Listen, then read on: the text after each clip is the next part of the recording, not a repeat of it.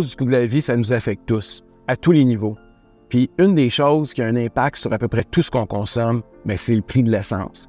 Et plus on paye cher notre essence, plus tout le monde paye cher sur tous les produits que vous consommez.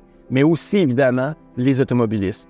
Puis les automobilistes de toutes sortes, les gens qui sont en région, euh, les parents avec des familles nombreuses, les gens qui sont handicapés ou qui ont des problèmes de santé, euh, ou les gens qui ont des, juste des vies de fous, des travailleurs qui n'en peuvent plus, qui ont besoin d'avoir une autonomie pour se déplacer, bien, ils n'ont pas le choix d'avoir une voiture.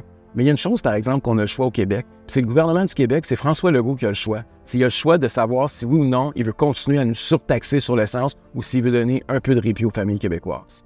Les Québécois payent beaucoup plus cher leur essence que nos voisins au Canada anglais ou du côté des États-Unis. Pourquoi on paye plus cher? Parce qu'il y a beaucoup plus de taxes. On a de la taxe sur la taxe sur la taxe. Au total, on paye plus de 61 sous le litre de taxes. Ça n'a pas de bon sens. Ailleurs au Canada, les gouvernements ont commencé à donner un peu de répit aux automobilistes.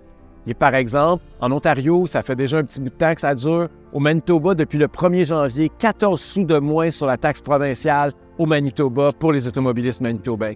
Qu'est-ce que le gouvernement du Québec attend pour donner du répit aux familles qui en arrachent actuellement? Plus le prix de l'essence monte, plus le gouvernement fait de l'argent, puis moins il vous en reste dans votre portefeuille. Au Parti conservateur du Québec, on trouve que ça n'a juste plus de bon sens. Ce qu'on propose, c'est de baisser les taxes sur l'essence en éliminant ou en suspendant la taxe provinciale de 19,2 sous sur chaque litre. Monsieur Legault, si vous voulez retrouver la confiance des Québécois, commencez à vouloir remettre concrètement de l'argent dans le portefeuille de ceux qui en arrachent les familles québécoises en suspendant dès maintenant la taxe sur l'essence.